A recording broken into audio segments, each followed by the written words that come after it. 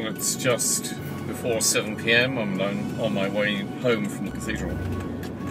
One funeral finished, one prepared for for tomorrow, and the Bishop has now asked me to go to Melbourne to represent him at the funeral for the widow of a former Bishop of Ballarat. The funeral service is being taken place at All Saints East St Kilda in Melbourne, a fine neo-Gothic church Father James Bishop is now the vicar in charge. So I shall have an early start in the morning to leave to go to Melbourne. I'll go by train and on, then on to St Kilda.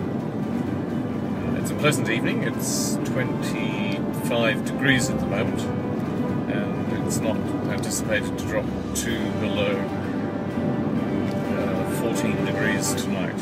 Let's hope it's not too hot for tomorrow.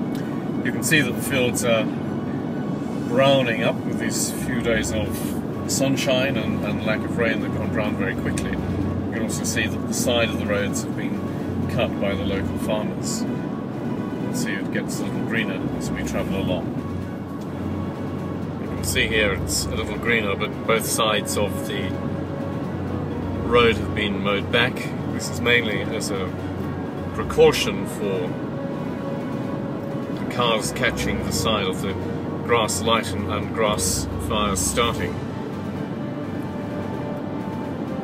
Occasionally the uh, sides are fenced off with electric fencing and cattle uh, are encouraged to roam in this, they call them long paddock. Um, there's a couple of bottles of wine named after this as well. This uh, next section of the road my mother hates whenever she's here. Um, she describes it as being as bad as the Big Dipper at Battersea Funfair.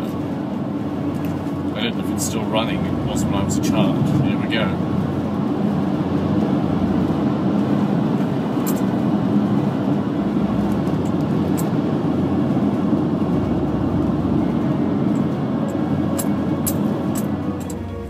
I'm hoping we might see some of the butterflies just fly out of the trees and get to the top